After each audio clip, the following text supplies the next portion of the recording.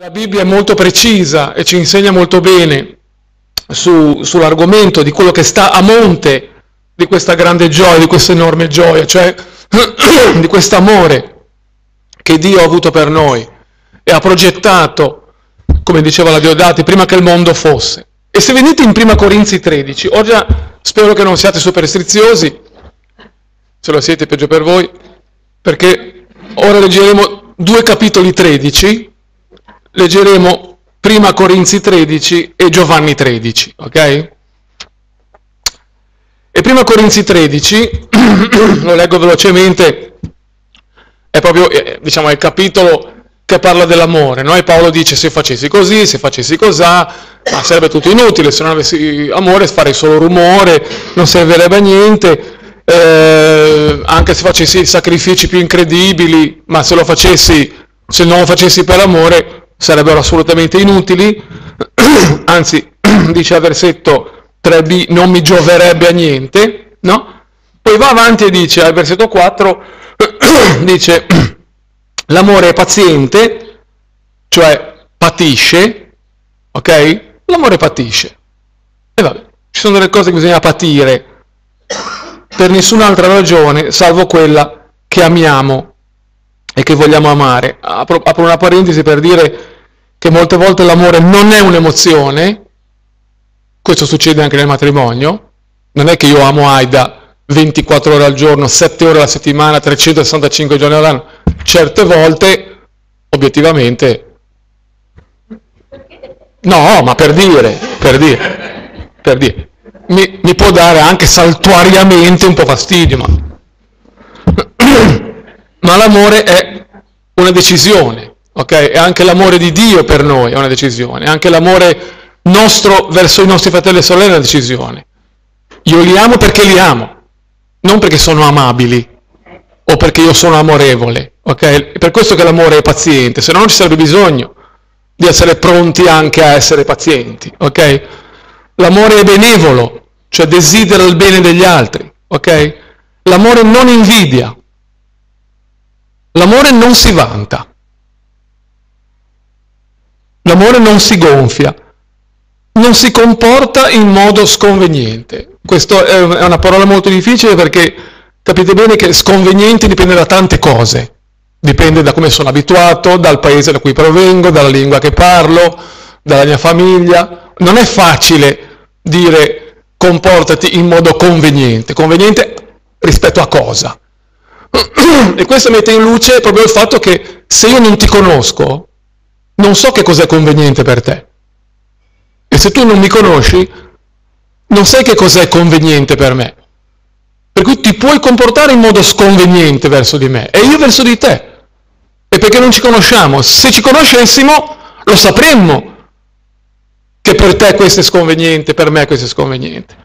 Per cui ecco la, la, la chiave del comportarsi in modo conveniente e sconveniente, che sicuramente non è una delle aree in cui io sono più preparato, non cerca il proprio interesse. E se a grandi linee siamo tutti d'accordo, poi nel, nel più piccolo invece è diverso, ok? Decidiamo questo in chiesa, ma va nella direzione di quello che voglio oppure no? Scegliamo questo canto, quell'altro canto, scegliamo questo orario, quell'altro orario, ma va nella direzione di quello che mi piace oppure no? L'amore non si comporta così, non si inasprisce, ok? Non addebita il male non penso che tu abbia fatto il male finché non te l'ho chiesto e non abbiamo proprio verificato che l'hai fatto. Invece tantissime volte succede l'opposto, no? Ah, lo sai che lui ha detto così ma voleva dire così. Eh, non so, gliel'hai chiesto, hai sentito? Perché può darsi di no. L'amore non addebita il male. Non gode dell'ingiustizia, te lo sei meritata. Eh, per forza, eh, per forza. Se l'hai meritata. Hai visto come ha trattato suo marito per vent'anni? È chiaro che è scappato con una ballerina. Così impara. Ok? L'amore gioisce con la verità. Soffre ogni cosa e soffre ogni cosa, di nuovo è una parola su cui vale la pena dire una brevissima parola, un brevissimo, una brevissima nota, no? perché noi siamo abituati a leggerlo, prima Corinzi 13, l'amore paziente, benevolo, l'amore non invidia, l'amore non si vanta. Ok, ma che cosa vuol dire soffre ogni cosa. Vuol dire che le tue difese immunitarie sono molto molto basse, hai una bassa tolleranza. Qualunque cosa ci rimani male, soffri, perché non te l'aspetti da tuo fratello da tua sorella, non te l'aspetti, per cui col- non sei difeso, sei indifeso, per cui ti colpiscono molto più profondamente, soffri ogni cosa, quella mezza parola che in ufficio, pff, figurati. Detta da tuo fratello, tua sorella, ti colpisce tantissimo, soffri ogni cosa, la tua tolleranza è molto bassa, sei indifeso, credi ogni cosa. Se me l'ha detto, sarà vero. Ogni volta che leggo questo versetto penso a mio padre e a mia madre che hanno creduto delle cose di me da ragazzino che però ci credevano, più mio padre, meno mia madre, ma ci credevano, erano convinti che dicesse la verità. E questo è un simbolo di amore. Spero ogni cosa, sopporta ogni cosa.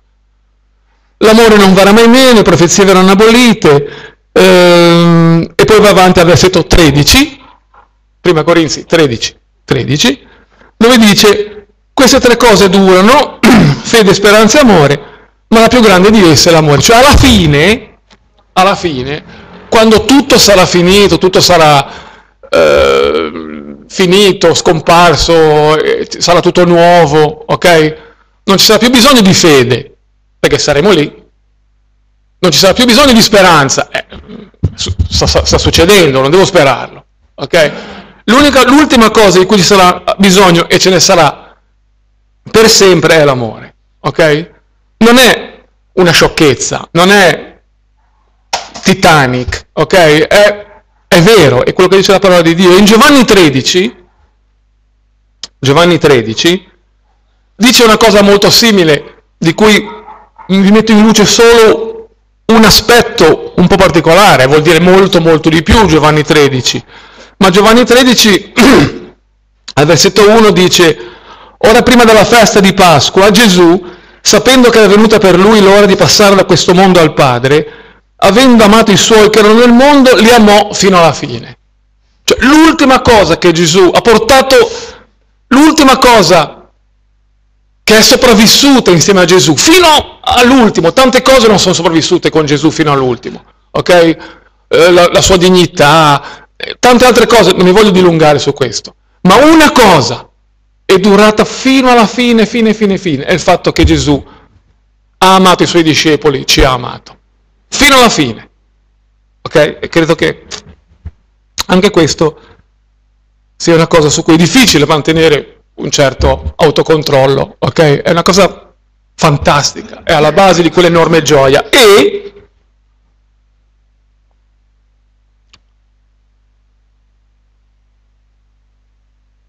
e questo l'abbiamo visto, questo signore questo signore si chiama Gary Chapman. È un, uno scrittore di bestseller internazionale, ha, ha fatto una fortuna notevole per degli scritti che ha fatto. E questa è una cosa molto interessante. Un'altra cosa molto interessante è che questo signore è un, credente molto impegnato eh, ed è vice pastore in effetti di una grandissima chiesa battista in Stati Uniti ed è il responsabile del lavoro tra le coppie, eh, dell'edificazione, eh, è un credente impegnato al 100%. In effetti il suo mestiere è di essere pastore, e il fatto di essere diventato uno scrittore di bestseller, di aver ammassato milioni, è successo, se ci credete, per incidente, per caso. Se non ci credete, è stata la mano di Dio, ok? E questo nostro fratello, questo nostro fratello Gary Chapman, ha scritto nel 92, mi sembra, o giù di lì, eh, fine anni 90, un libro che ha cambiato il modo di vedere di queste cose, che ha spiegato cose che prima non si erano mai spiegate e che in italiano si intitola I cinque linguaggi dell'amore. Ok, questo nostro fratello, oltre ad essere pastore, se non l'ho contato male, ha quattro lauree diverse, tutte centrate intorno a questi argomenti, è veramente un esperto e questo, frat- questo nostro fratello ha identificato nel comportamento eh, che ha a che vedere con l'amore, diciamo, cinque grandi aree, alle quali più o meno tutti possono essere ricondotti e la chiamate, quadro dopo, i cinque linguaggi dell'amore, che sono questi. Questo nostro fratello dice che in qualunque modo tu mostri il tuo amore agli altri, sarà sempre in una di queste cinque aree, o nelle parole di affermazione, cioè dire alla gente bravo, hai fatto bene, complimenti, sono orgoglioso di te, ma bene, bravo, ok? Tempo di qualità. Non vengo con te perché non ho altro da fare, vengo con te perché voglio venire con te e pianto lì quelle altre cose che ho da fare e dico no a degli altri per stare con te. Regali, regali sia diciamo fisici che regali di tutti i tipi. L'atto di donare qualcosa gratis. Atti di servizio. Vengo e cucino. Vuoi una mano? Ti serve una mano? vengo a, a fare questo, eh, cambi l'olio della macchina, ti do una mano? Devi traslocare. Aspetta, aspetta che chiamo un po' di... di e veniamo lì a camalarci i mobili, ok? Atti di servizio. Contatto fisico. Contatto fisico, toccare, accarezzare, eh, essere vicini, essere presenti, mettere la mano sulla spalla e poi molto più avanti in campo coniugale ovviamente anche i rapporti sessuali. Queste cinque aree, in queste cinque aree c'è il tuo modo dimostrare amore e c'è il tuo modo di capire quando gli altri ti mostrano l'amore. E questo è molto importante perché se supponiamo il tuo modo di capire amore è atti di servizio e un altro ti mostra amore col contatto fisico, magari non lo percepisci come amore, lo percepisci come fastidio, perché tu vorresti che ti desse una mano, ok? Non c'è niente di male, è giusto. Per questo che è importante capirlo. Lo capisco io, lo spiego a te e così sappiamo, io ho capito che lingua parli, tu hai capito che lingua parlo io e ci capiamo, se no prima non ci capivamo. La cosa interessante è che come molti di noi fanno, uno può parlare anche più di una lingua, ok? C'è la sua lingua madre per il tempo di qualità, ma parla anche abbastanza bene la lingua del contatto fisico e se la cavicchia con la lingua dei regali. Okay? Per cui è interessante vedere qual è la prima, qual è la seconda o qual è la terza. In un'analisi più avanzata si chiama, eh, non Chapman direttamente, ma chi ha lavorato dopo, la chiamate le lingue, le lingue principali e le lingue vernacolari, come se uno parlasse italiano e genovese, no? Contem- allo stesso modo. E, è anche importante questo da sapere. Questo, queste cinque aree, come dicevo prima, si rivolgono al modo in cui tu mostri amore agli altri, istintivamente, e al modo in cui tu ricevi l'amore degli altri, istintivamente. Per cui conoscerlo è molto molto utile. Uno dei capitoli del, del corso copy che Aide e io diciamo, stiamo tenendo, stiamo tenendo in, abbiamo appena finito uno, è proprio questo, cioè un capitolo intero, due ore, con le coppie presenti, solo su questo qualche esercizietto, qualche test, due chiacchiere ed è bellissimo vedere eh, magari coniugi sposati da vent'anni che ma, ma come? Ma non me l'hai mai detto? E io sono stato lì a perdere tempo a, a far, al tempo di qualità, eh, ma le parole di affermazione, ma scusami, io pensavo, no, non è vero, in vent'anni non mi hai mai detto che cucino bene, non lo so, ed è veramente interessantissimo, ed è un grande passo avanti ed è un grande passo avanti. Questo, eh, questa opera di Chapman è stata poi declinata in diverse aree, eh, esiste eh, per il matrimonio, esiste per i ragazzi, per gli adolescenti, cioè pro adolescenti e da adolescenti, ed esiste anche per le chiese, no? per capire all'interno di una chiesa come si fa ad applicare, a capire e ad applicare tra fratelli e sorelle questi cinque linguaggi dell'amore. E da questo punto di vista che stamattina diamo un'occhiata, eh, con alcune particolarità che adesso vediamo insieme. La prima delle aree, e dico prima non perché è più importante, ma perché semplicemente Chapman è partito da lì, eh, la prima delle aree sono le parole di affermazione, che a tu per tu, abbiamo capito benissimo, no? Eh, bravo, hai, hai suonato bene stamattina Bravo, oh, mamma mia, stamattina l'accoglienza era perfetta. Oh, le seggiole erano veramente qualunque cosa ti venga in mente per dare una parola di affermazione, di incoraggiamento, di edificazione a qualcuno dei tuoi fratelli e delle tue sorelle. Tutto questo si basa sull'amore che abbiamo letto in 1 Corinzi 13, 13 e in, Romani, e in um, Giovanni 13 ed è importante ricordarsi, ricordarselo sempre, che non è sempre un sentimento, ma è una decisione, ok? Può darsi anche che le seggiole tutte in fila mi diano fastidio, però qualcuno l'ha fatto e una parola di affermazione molto importante. Sono parole dette allo scopo di far star bene gli altri, di edificare, di incoraggiare, di far sentire stimati. Al di là dell'analisi di Chapman, nella parola di Dio vi prego di verificare e dirmi se ho torto, nella parola di Dio non è previsto il contrario. Non sono previste parole che non fanno stare bene gli altri, che non edificano, che non incoraggiano, che non, far, che non fanno sentire stimati. No, se hai una parola di questo tipo, in privato esistono diciamo, diverse, diverse modalità, ma non è questo di cui sta parlando la parola di Dio, ok? Potrei citarvi anche qua Filippesi, Colossesi, dove dice esattamente quali sono le parole che devono uscire dalla nostra bocca, le altre no, ok? Le altre no. Per esempio, un, um, un, esempio carino, ho cercato di scegliere degli esempi un po', diciamo, alternativi per aprirci un po', per sforzarci un po', no?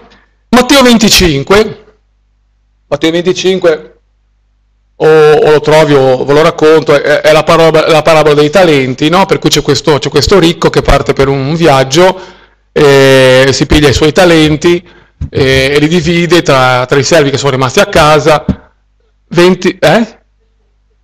da 14, 25-14 e poi il quadro successivo lo mettiamo dopo, dopo.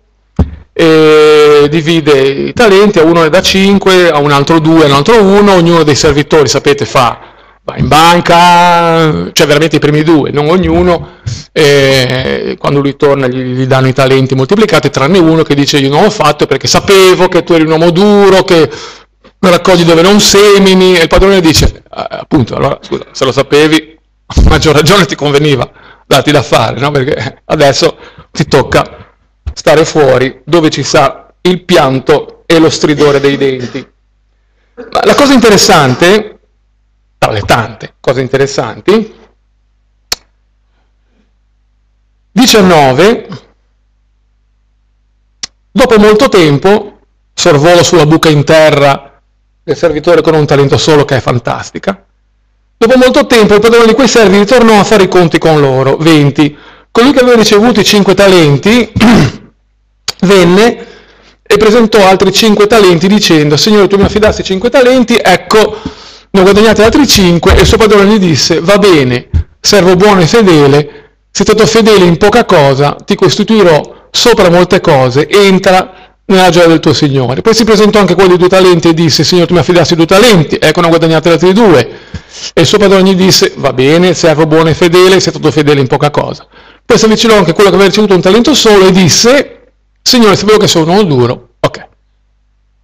Quello che dice il padrone ai versetti 21 e 23, se facciamo un po' un passo indietro dalla parabola che conosciamo così bene, no?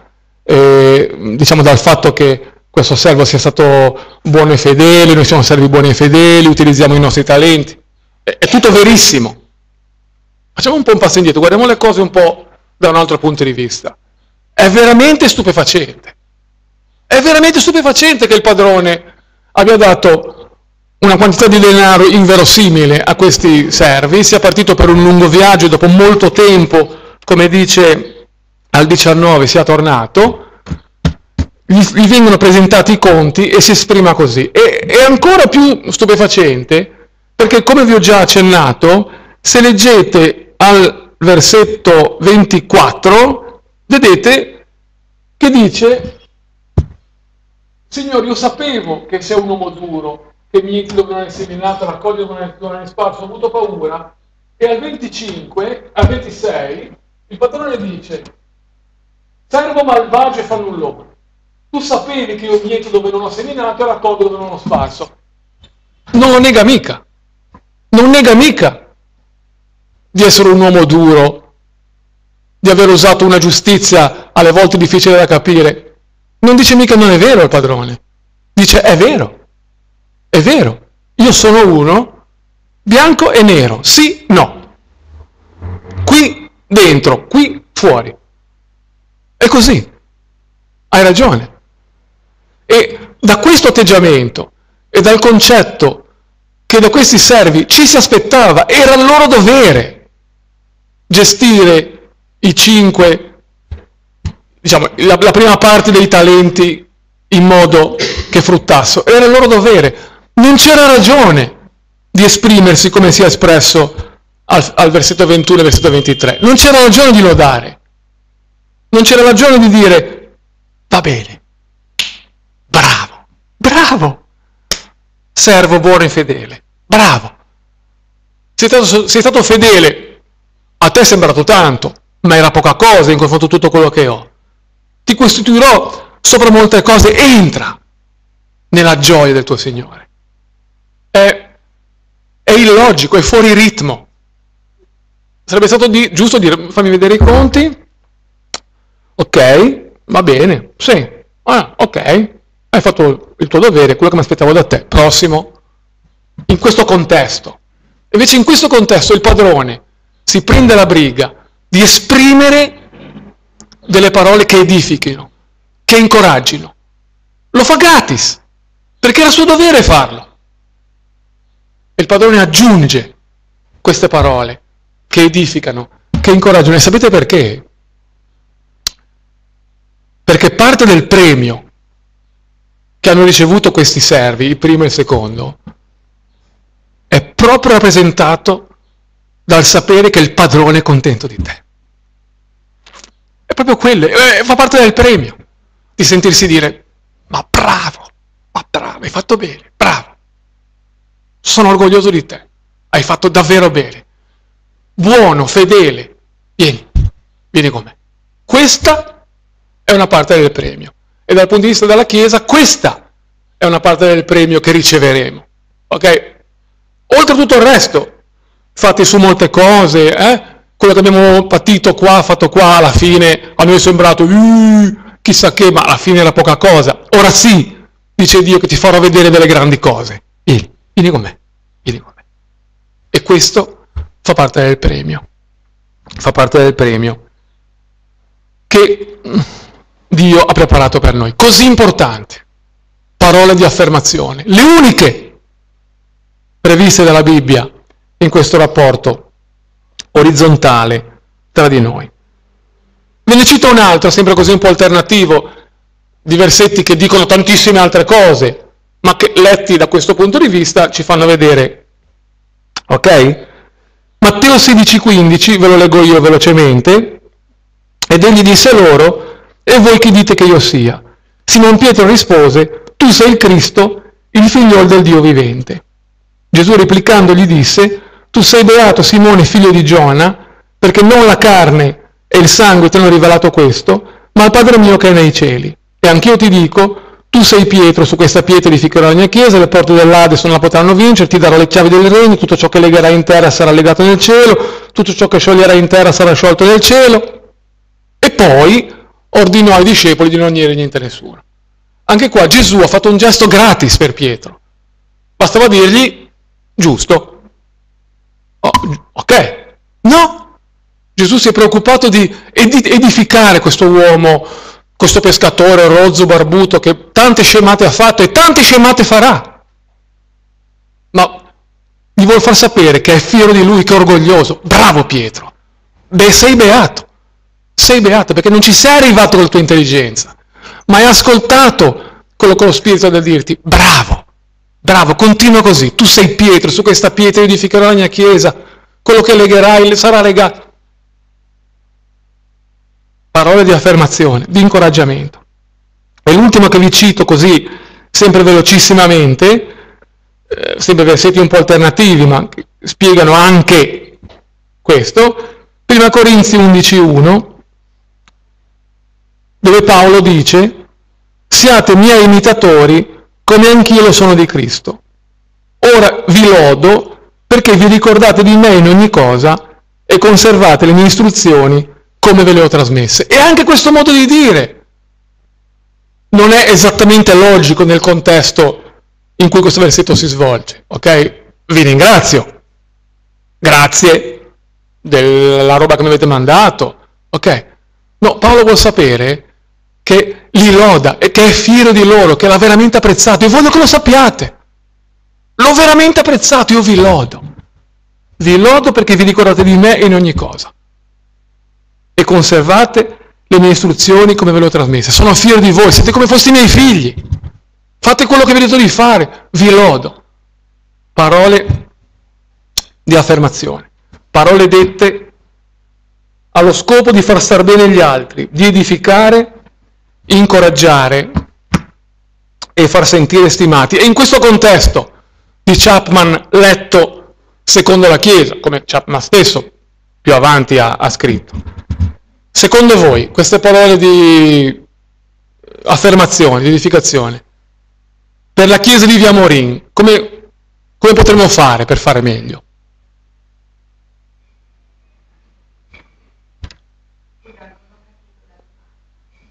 Queste parole, come potremmo a livello Chiesa mettere maggiormente, meglio in pratica l'idea di dire parole che edificano gli altri, che incoraggiano,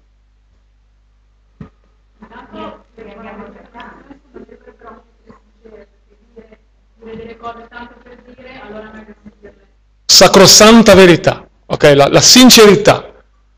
Non te l'ho detto perché mi tocca dirtelo, non te, te, non te l'ho detto perché faccio bella figura a dirtelo, te l'ho detto perché è vero, giustissimo.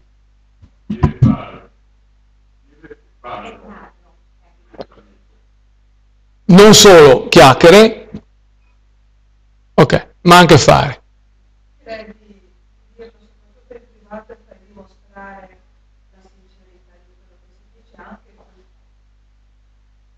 che... Poi ognuno si sente, certo, diciamo, non si lode, non si gonfia, per quello che ho letto prima, eh, prima Corinzi 13, no? perché giustissimamente in questo contesto, no? Non è che, ah, fermi tutti, voglio che guardiate tutti Rachele che fatto... È, è carino, però alle volte può anche essere che sia un po', eh? secondo prima Corinzi 13. Ci sono le diverse fasi, ma sicuramente quello che Sara ha sottolineato è che siccome l'amore non si comporta in modo sconveniente, ok? È conveniente, che conviene, che funziona bene, che va insieme, conviene, ok? Proprio quello di dire delle cose che io so che sono vere, perché se no è solo, come si dice teologicamente, fuffa, ok? Ok, tempo di qualità. Il tempo di qualità è un tempo dedicato agli altri, non quando posso, ma quando fa piacere agli altri. Quando se ne presenta l'occasione, non quando comoda a me. Anche se avrei altre cose da fare. Tempo di qualità è quando io sono concentrato sugli altri e sulle loro aspettative. Secondo Chapman è uno dei è diciamo, il secondo grande linguaggio in cui si può mostrare amore e si può capire amore dagli altri. Ok? In un uh, recente corso copia che abbiamo fatto Aide e io, tutte le 8-7 diciamo, incontri, è venuta una signora uh, che molto presto ci ha raccontato delle, delle sue difficoltà col marito, che erano anni che il marito prima la maltrattava, la insultava, poi recentemente, recentemente da qualche anno, non le parlava proprio più. Cioè, entrava, usciva, sentiva la porta sbattere, se ne andava, chiuso, basta, no, non c'erano più contatti. Per cui men che mai venire in chiesa, men che mai eh, andare a cena fuori insieme, zero, ok? Zero. E lei era molto triste e, e ci, ha cosa, ci, ha chiesto cosa si poteva fare e noi abbiamo detto, ti dico la verità, non lo so, ecco, perché eh, per andare d'accordo bisogna essere in due, eh, non si può andare d'accordo da soli, eh, bisogna trovare un terreno comune e se questo terreno non c'è eh, chiediamo al Signore che ce lo crei, ecco, ok.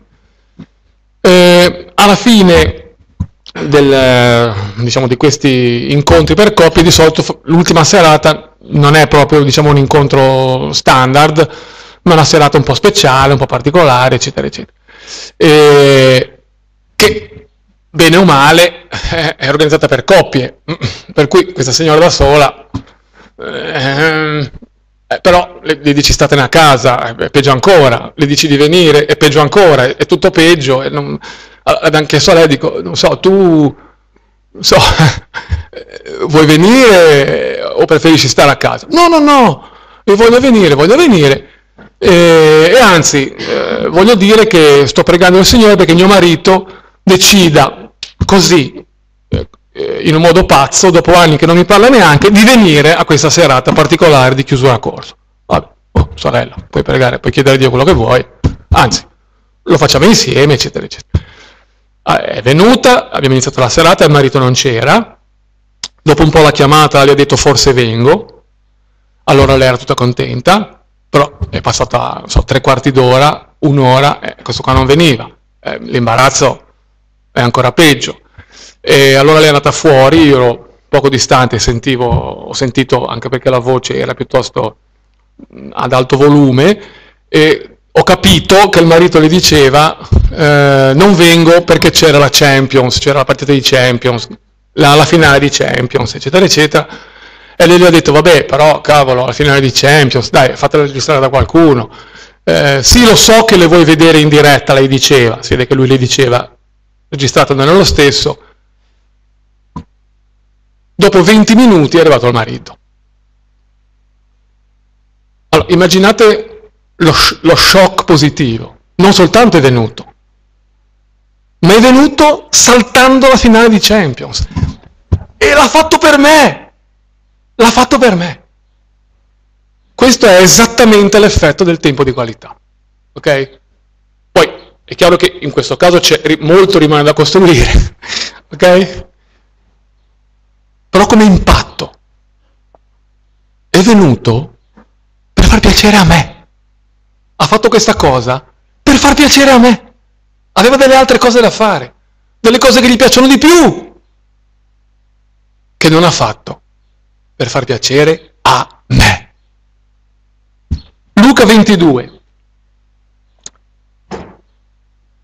15-20, velocissimamente gli disse loro, o oh, vivamente, la Diodati dice grandemente, che è un po' diverso ed è molto interessante, desiderato di mangiare questa pasta con voi prima di soffrire, di tutte le cose che Gesù aveva da fare, di tutti i pensieri che aveva, di tutte le preoccupazioni che aveva, di tutti i pensieri che sono nella mente di un uomo che sa che sta per morire in un modo terribile, di tutte queste cose. Gesù ha grandemente desiderato di mangiare questa Pasqua con noi. È tempo di qualità o no? L'ha fatto per me. Il pane di vino l'ha fatto per me. Aveva ben ben altre cose da fare. Ma l'ha fatto per me. Ok? Luca 1.39. In quei giorni Maria si alzò e andò in fretta nella regione montuosa, in una città di Giuda, ed entrò in casa di Zaccaria e salutò Elisabetta. Sapete che Giovanni, il futuro Battista, nell'utero di Elisabetta ha fatto un salto perché ha sentito la vicinanza con Gesù, eccetera, eccetera. Sono andato un po' a scartabellare, ho letto un pochettino in giro e la, eh, l'idea vincente, l'idea più standard, diciamo, è che eh, a quel tempo si capisce da altri versetti che adesso non vi sto a far perdere tempo, Maria vivesse a circa 150 km da dove stava Elisabetta ok? Questi 150 km venivano percorsi o a piedi o a dorso d'asino. Sono andato a vedere la media della velocità a dorso d'asino, se lo cavalchi, se hai un carretto, eh, più o meno le soste, no? per farmi un'idea di cosa voleva dire. E così ho un po' calcolato, diciamo, sulla base di quello che ho potuto trovare, che siccome ad orso d'asino o col carretto o a piedi di buon passo più o meno si fa la stessa velocità, 4-5 km all'ora, soprattutto all'epoca erano persone più allenate di noi, per cui diciamo che ci vogliono 30-40 ore per percorrere questo pezzo di strada che il versetto 39, trick e track, ci dice andrò in fretta 30-40 ore di cammino, per cui diciamo 4-5 giorni, eh, più o meno, di cammino, eh, in cui bisogna mangiare, bere, dormire, occuparsi di queste cose qua, incinta, ok? Eh, non eh, sugli altopiani del Clermont-Ferrand, ma ah, tra Nazareth e Betlemme con un caldo che bastona, ok? Questo concetto. Quello che Maria ha offerto a Elisabetta è tempo di qualità o no? È stratempo di qualità. È partita a piedi, incinta da casa sua e ha camminato 4 o 5 giorni per andare a salutare sua cugina. Perché erano tutti e due incinta e capivano che c'era qualcosa di più, di speciale. È vero che un gesto vale più di mille parole. Le avesse mandato una lettera, un piccione viaggiatore dicendogli io ti voglio bene, era carino ma in questo modo, ok? Questo è il tempo di qualità. Allora, secondo voi, la Chiesa di Via Morin come fa a sperimentare, secondo voi, ognuno di noi, come può dare tempo di qualità? Visto che stiamo, lo stiamo vedendo dal punto di vista della Chiesa.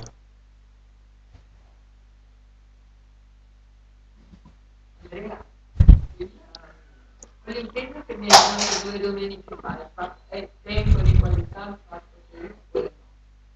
sì, a parte che avviene tra te e me. Ok. Comunque sì. Pensato al tempo che il coro mette insieme per poi Il, il gruppo lode. Non potrei essere più d'accordo. Il mercoledì sera. Tempo di qualità tempo dato anche quando ho altro da fare. Renata.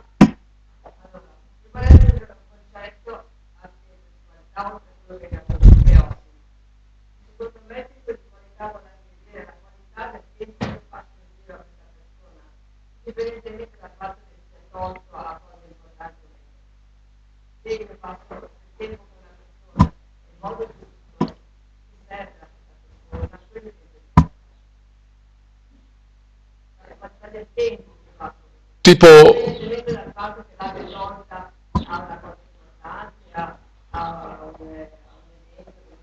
Vuoi dire tipo che mi metto a leggere Whatsapp mentre sono a tavola con te?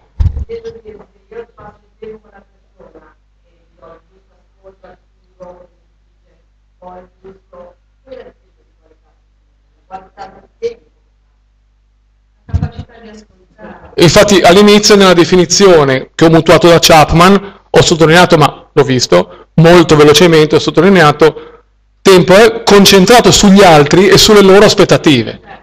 Ok, questa è la definizione di tempo e qualità, non è solo la quantità, è la qualità. Ti ho visto.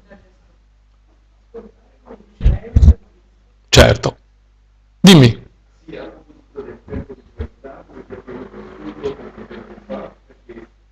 la prima volta che io vengo in questa chiesa e ho avuto immediatamente due persone che mi hanno parlato molto di me e che mi hanno... Strano.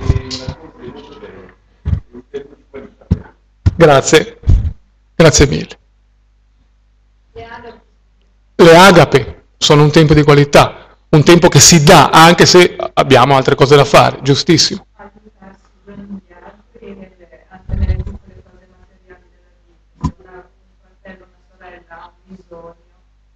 Giustissimo, dal punto di vista del tempo correttissimo, uno dei linguaggi successivi sarà proprio i gesti di servizio, che risponde ancora meglio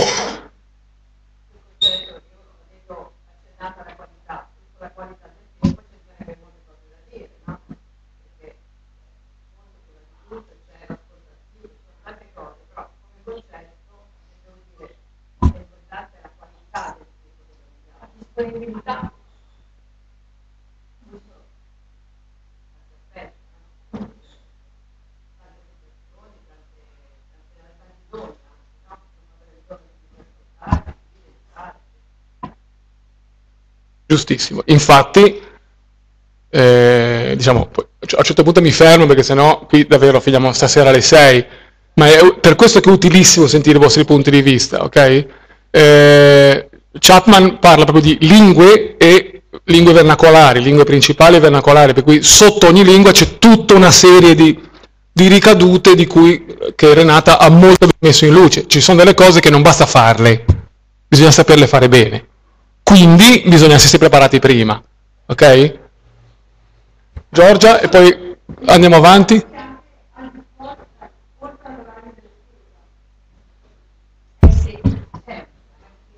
Corretto. Benissimo, il tempo galoppa. Accelero. Eh, il, il successivo sono i regali. I regali non pensate solo a quelli di Natale col pacchetto e il fiocco, sono anche quelli, ok?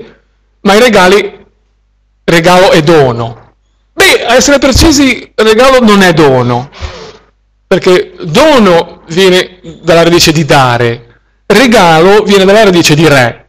Ok? Perché un, il dono è una cosa che io ti do, il regalo è una cosa che una persona potente, importante, decide di darti perché è buono, perché è gentile.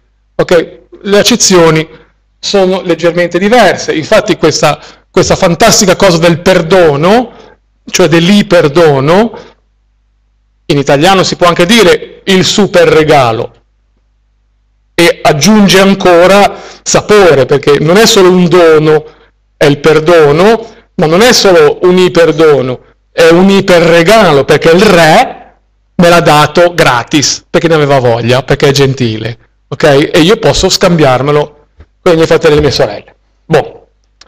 Eh, Apocalisse 22-17, accelero velocissimamente e vi dico tre cose. La prima, lo spirito e la sposa dicono, vieni e chi ode dica vieni, chi ha sete venga, chi, vuole, chi vuole prenda in dono dell'acqua della vita.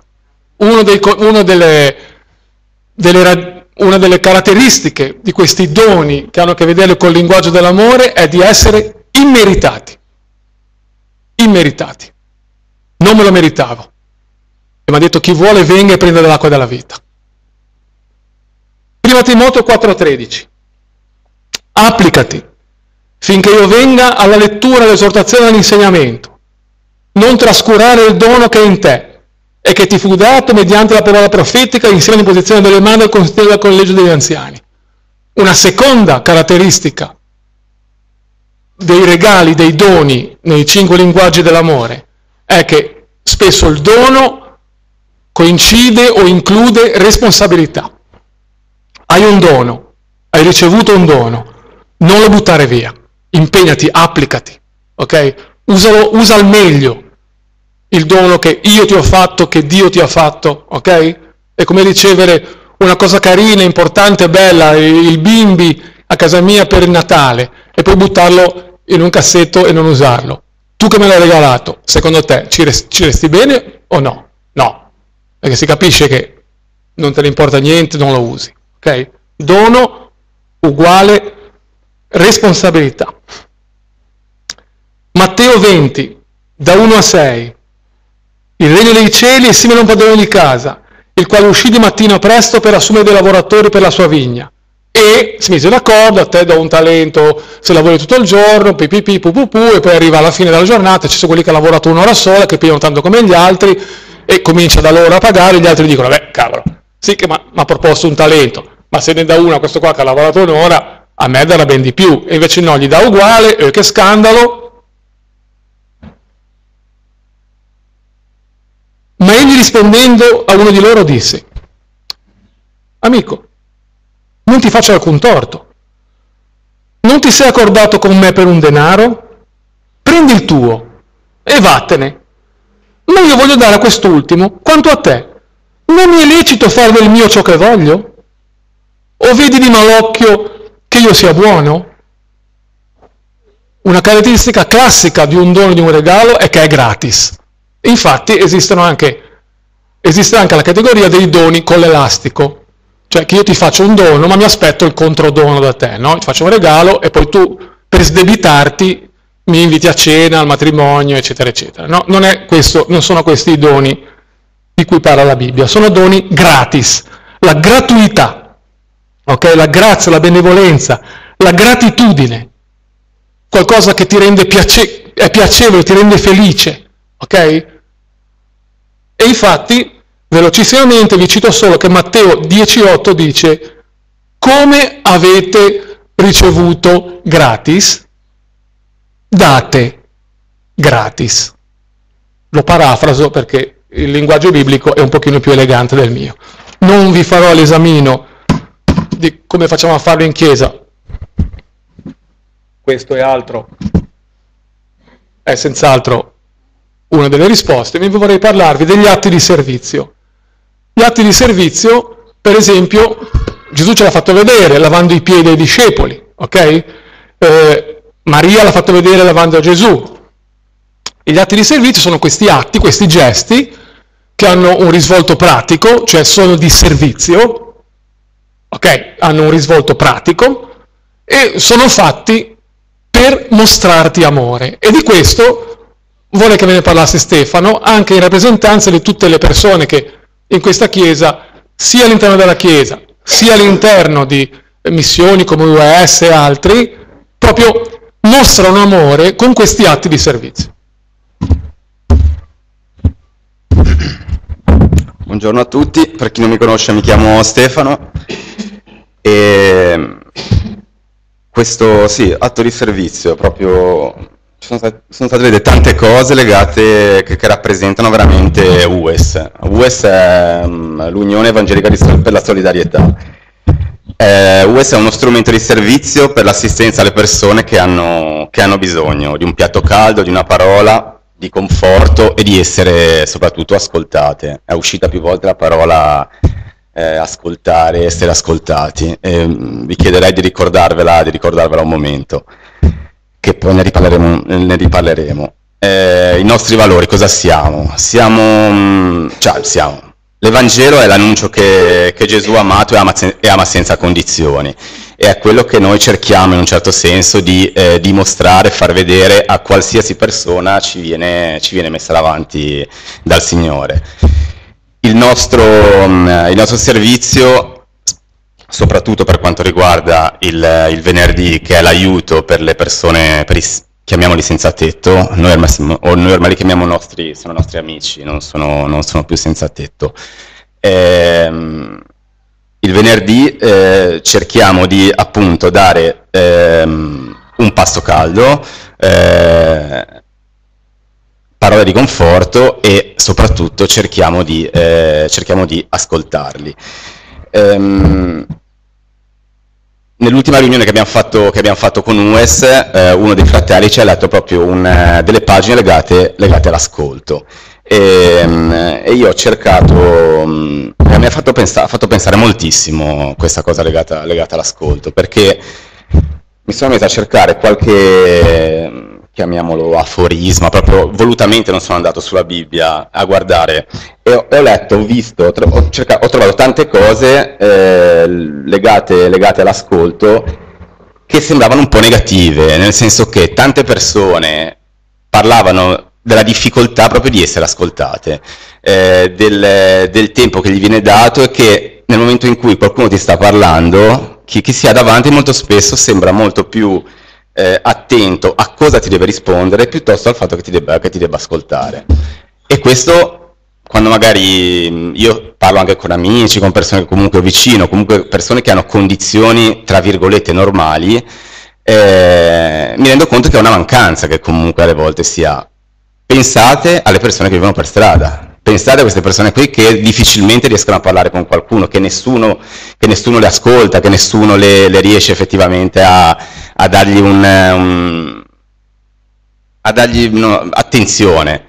Per cui in, in, quell'ora e mezza, in quelle due ore che noi svolgiamo questo servizio al, al venerdì sera, ehm, il fatto di poter eh, effettivamente ascoltarle eh, per loro credo sia un regalo, un regalo, incredibile. Questa cosa qui la può fare chiunque, non, non ci vuole, un, eh, bisogna fare una scuola o qualcosa, cioè è questione di aprire il cuore, aprire il cuore a qualcuno.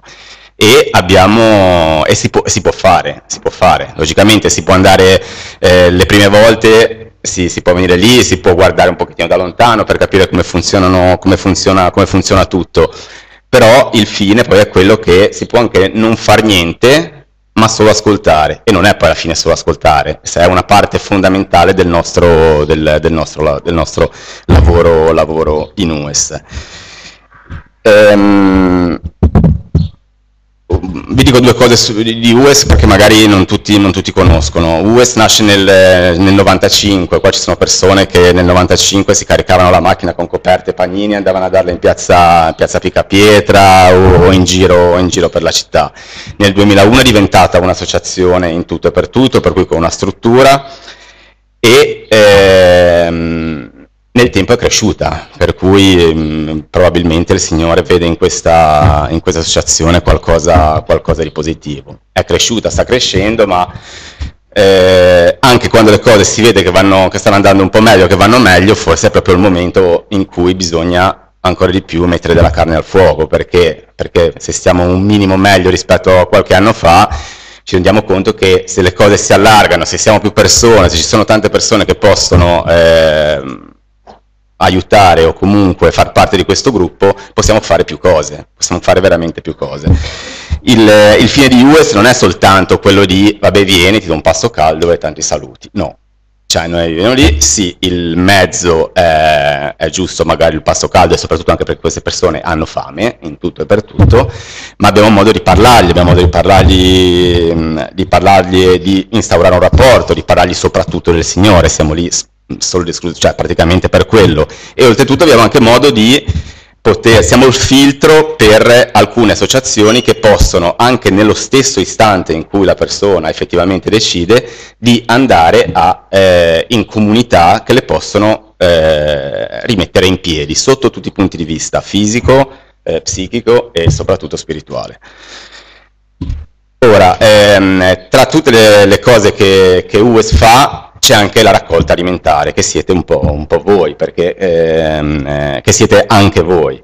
Eh, nel senso che eh, nelle, ogni, una volta al mese vi viene chiesto di portare questo, questi sacchetti con eh, cibo, eh, tonno, pelati, tutte cose di questo, di questo genere eh, volevo un attimino darvi due numeri per capire dove vanno a finire queste cose, perché sennò sembra che magari me le porto a casa io e non è, non è proprio... Non è proprio no, stasera ci vediamo. Eh, cioè, c'è un po', da, un po' di roba da dividere.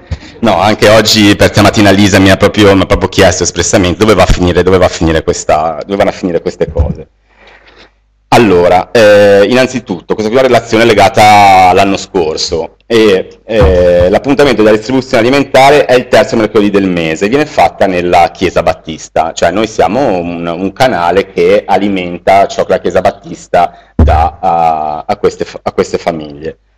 Eh, in media vengono assistite circa 50-55 nuclei familiari, per cui parliamo di 150-180 persone eh, a queste vanno inserite nuove persone che si presentano all'appuntamento per il quale si dà l'aiuto e in media sono altri 7-10 nuclei familiari. L'anno scorso, cioè nel 2017, abbiamo, ehm, siamo riusciti a raccogliere e per cui a donare 100 kg di formaggio, 618 confezioni di biscotti, 12,9 quintali di pasta, 490 kg di farina, 1284 litri di latte 1152 lattine di legumi, 510 pacchi di riso, 200 litri d'olio, 988 bottiglie di passato di, eh, di pomodoro, per dire. Si, fa, si, fanno, si, possono fare veramente, veramente tante, tante cose. Eh, come dicevo prima, eh, si può fare anche di più, per cui nel senso mh, mm, eh, questa, questa, volta è stato chiesto di, di, fare per due volte la raccolta perché avevamo anche delle, delle famiglie più vicino a noi che avevamo bisogno, che avevamo bisogno di, di aiutare e eh, infatti co alcune cose verranno, verranno girate a queste, a queste, a queste persone. Ehm, Basta, mi, mi, mi, fermo qui eh, chiedendovi di, di, di, pensarci, di pregare per noi e ehm, chi ha bisogno di informazioni sono, io sono a disposizione sempre per quanto, per quanto riguarda questo, questo servizio.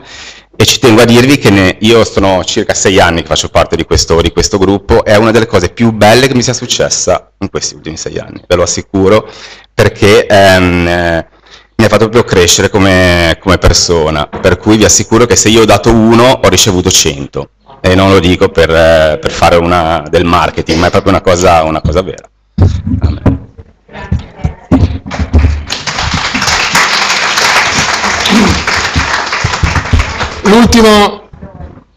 L'ultimo dei cinque linguaggi dell'amore con cui chiudiamo stamattina è quello del contatto fisico, del gesto fisico. Mentre velocissimamente tratto questo ultimo linguaggio, se il gruppo Lode vuol venire e vi preparate a suonare il 159, mi fate un piacere, prima facciamo gli annunci. A chi toccano gli annunci?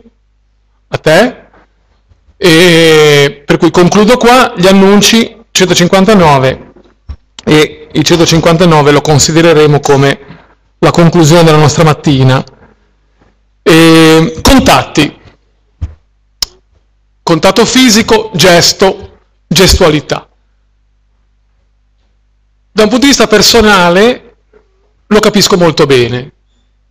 Io sono uno molto portato al gesto fisico, al contatto e diciamo nel mio lavoro che mi porta molto a viaggiare in altri paesi, eccetera, eccetera, ho dovuto imparare, spesso facendo delle brutte figure, vedendo gente che sbiancava, eh, che in certi paesi non è ammesso toccarsi, non è ammesso avvicinarsi. Invece io abbraccia, bacia, pacche sulle spalle e c'era gente che assolutamente sbiancava, ok? E ho imparato che a seconda dei paesi la distanza giusta è circa un metro, in certi paesi è mezzo metro, in certi paesi 12 metri, dipende da, dai paesi, ok?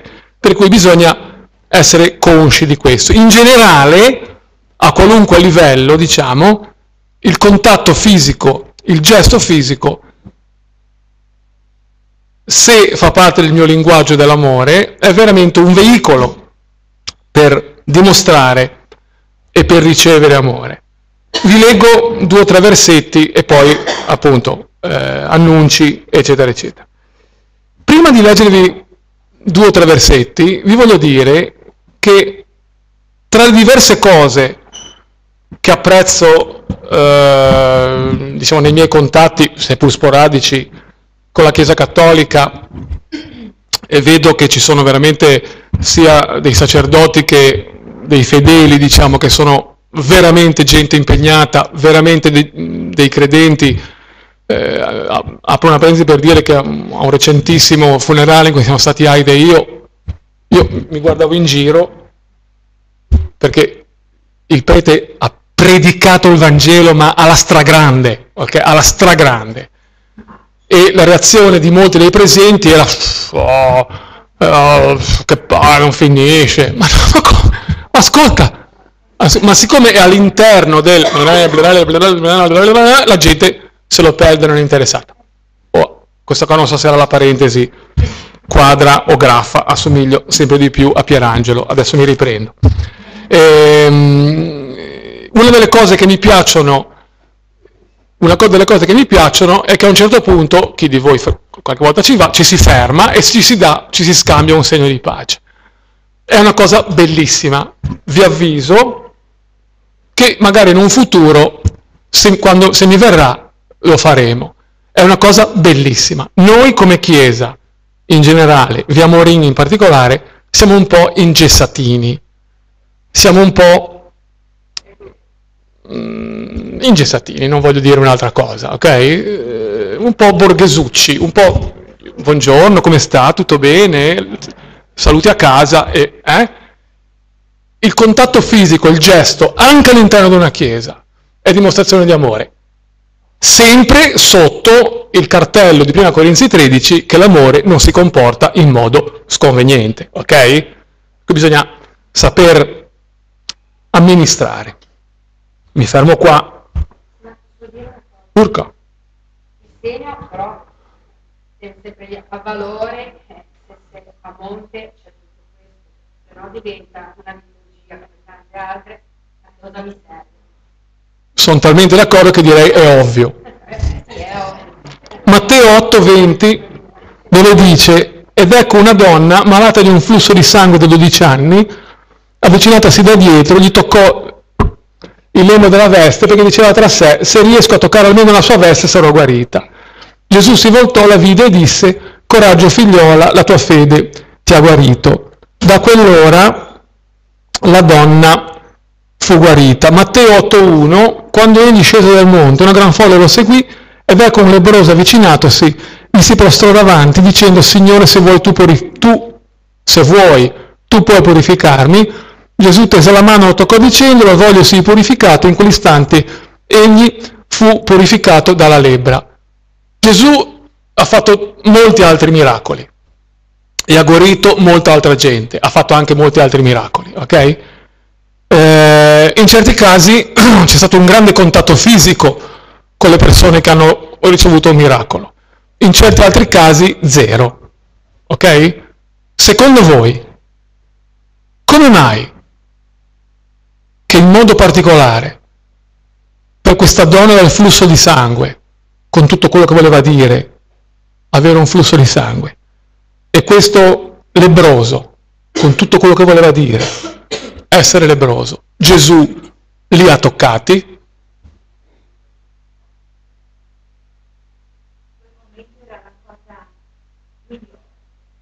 Perché? Perché lui sapeva, conosceva il cuore e sapeva che avevano bisogno. Una spiegazione ottima, cosiddetta spiritualista. Giusto, è vero. Ma perché? In un gesto d'amore c'è spirituale. In un gesto d'amore. Cioè la...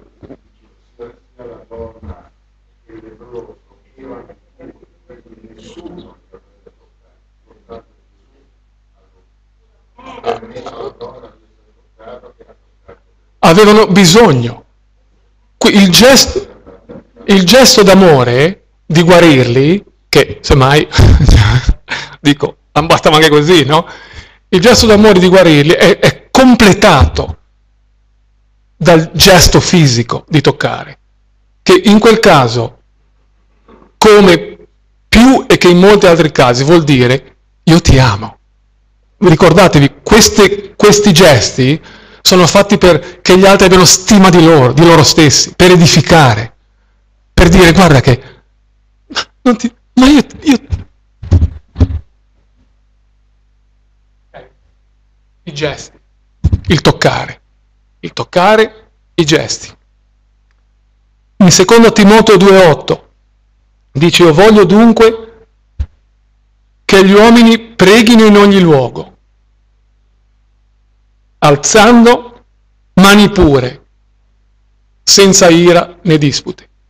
Da un punto di vista teologico, il versetto funzionava anche, io voglio dunque che gli uomini preghino in ogni luogo senza ira e senza dispute.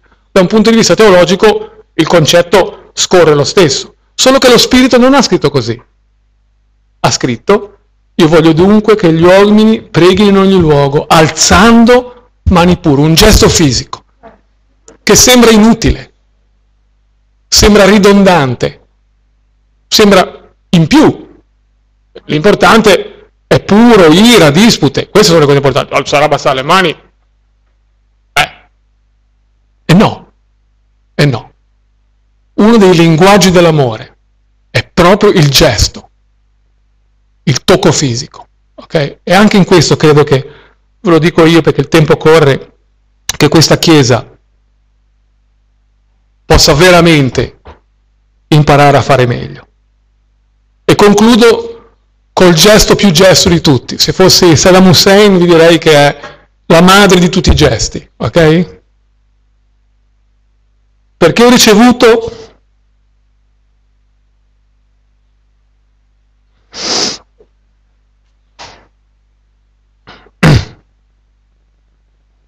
dal Signore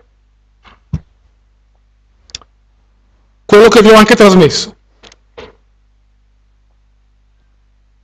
Cioè che il Signore Gesù, nella notte in cui fu tradito, prese del pane.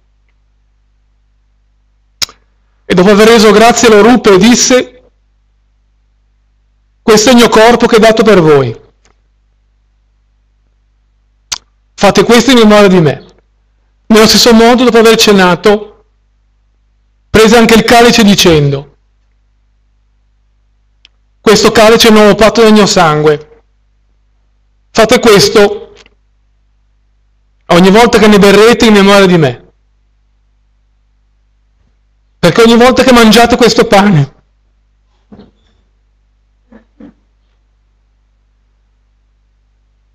e bevete da questo calice, voi annunziate la morte del Signore finché egli venga.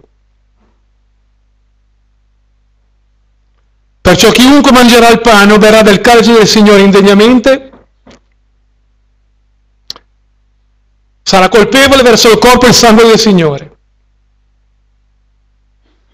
Ora ciascuno esamini se stesso e così mangi del pane e beva del calice. Perché chi mangia e beve, mangia e beve un giudizio contro se stesso, se non capisce che questo è il corpo del Signore. Per questo motivo, molti fra voi sono infermi e malati e parecchi muoiono o dormono.